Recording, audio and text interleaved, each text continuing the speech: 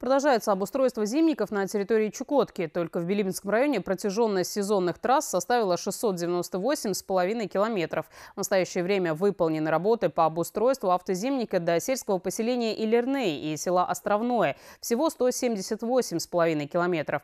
Подрядчиком выступила Билибинская ДРСУ. Согласно контракту, это общество с ограниченной ответственностью на весь период эксплуатации обязуется выполнять все работы по содержанию дороги. Это выравнивание дорожного полотна не реже четырех раз в месяц, снятие накатов с периодичностью раз в неделю, устранение снежных заносов и восстановление максимальной пропускной способности, а также дежурство бульдозера на сложных участках. Предполагается, что этот зимник прослужит до последних чисел апреля.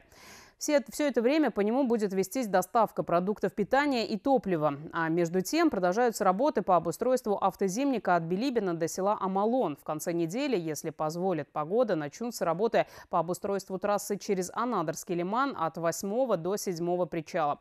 Пока же официально открыт самый длинный участок от рыббазы до поселка Шахтерский. Со вчерашнего дня здесь увеличена допустимая нагрузка на лед до 10 тонн.